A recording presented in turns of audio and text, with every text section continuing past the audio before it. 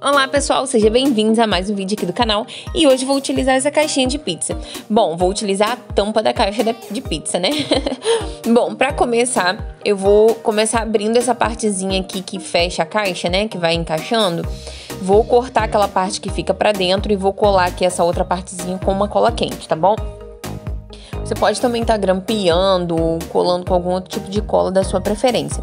Vou fazer isso em todas as partezinhas aqui da caixa e vamos depois para o próximo passo.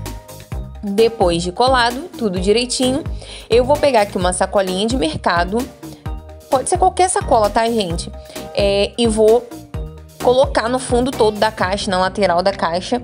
Vai ficar dessa forma que eu tô mostrando para vocês. Ah, Jennifer, eu não quero fazer com a, o saco. Não tem problema, é só você pincelar óleo em toda a caixa e tapar esses buraquinhos que ficam aí, tá bom? Eu vou fazer assim porque eu quero um efeito bem rústico na minha peça. Bom, peguei aqui aproximadamente 350 a 400 ml de água, coloquei 8 gotas de pigmento preto, misturei bem e vou começar aqui a adicionar gesso. Eu sempre utilizo gesso rápido, tá bom, pessoal? Eu gosto porque é, eu acho mais fácil de utilizar ainda mais com a questão de tempo, que é bem mais rápido de secar mesmo, tá bom? Depois de aparecer o gesso na superfície aí por cima da água, você começa a mexer bem até dissolver todos os gominhos do gesso, tá? Perceberam que não ficou um pretão? Porque a gente foi adicionando gesso, misturou, né? E ficou um cinza bem clarinho, era essa tonalidade mesmo que eu queria.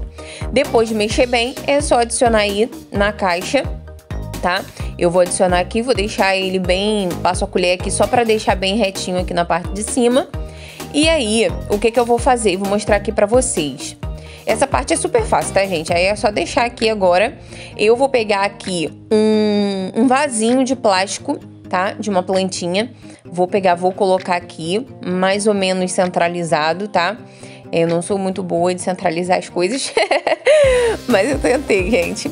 Peguei aqui dois tubinhos de cola quente, pincelei óleo, coloquei esses dois ganchinhos, os dois tubinhos ali na parte de cima e agora é só aguardar a secagem.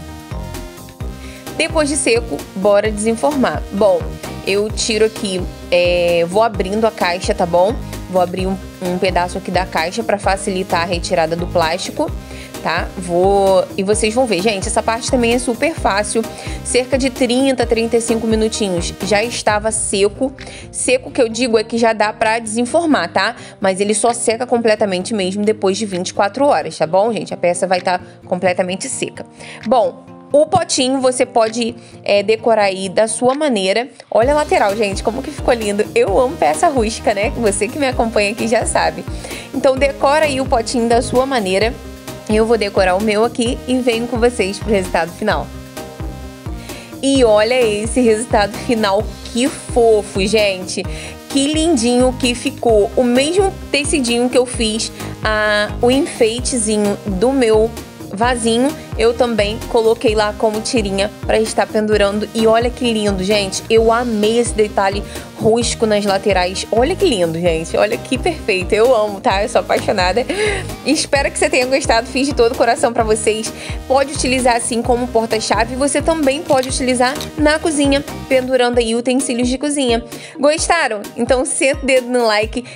Conta aqui para mim nos comentários de onde você assistiu o vídeo de hoje, pra gente saber até onde nosso vídeo chegou, tá bom? Eu sou aqui da roça aqui no Rio de Janeiro, em Itaboraí. Quero muito saber de onde você é. Por favor, gente, não se esqueça de se inscrever no canal, ativar o sininho. Todos os dias a gente tem uma dica nova para vocês, gastando super pouquinho, tá bom? Ó, um beijão, fiquem com Deus e compartilha com geral para ajudar a gente a crescer o canal. Tchau, tchau.